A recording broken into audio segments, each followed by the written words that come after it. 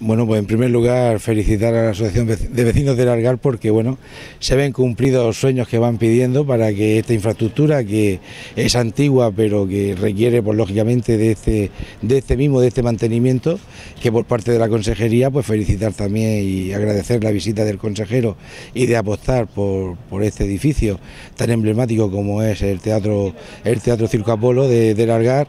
y bueno pues vamos avanzando, ¿no? El patio de butacas que era una de las demandas que se estaban haciendo por el tema de la visibilidad,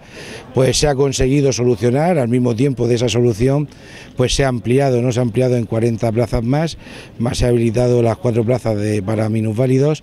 y bueno, pues al final va cogiendo, ¿no? Va cogiendo el enfoque de un teatro de verdad, un teatro que está cogiendo, pues bueno, con todas las actividades que se van realizando mucho auge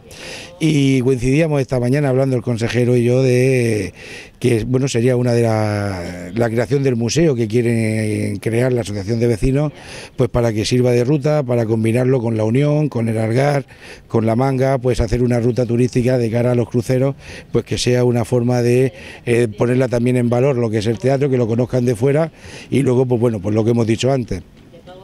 tiene que seguir funcionando el Teatro Apolo porque al final es un sustento que tiene la población del Algar. Eh, la intervención ha consistido en, tratar de mejorar eh, la visibilidad del patio de butacas y el aforo, porque sobre todo es un edificio que está utilizado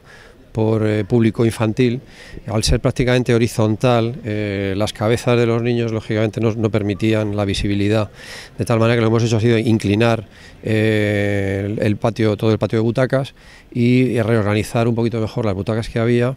eh, hasta meter un 40% más de, butacas dentro del aforo de lo que es el patio, que tenía 110 y ahora, y ahora ya pasa de las 150. Conseguimos mejorar también la visibilidad y en la parte de arriba hemos dejado una parte horizontal, una zona horizontal donde ya pueden eh, colocarse cuatro eh, minusválidos con su silla de ruedas totalmente horizontal que antes tampoco lo tenía.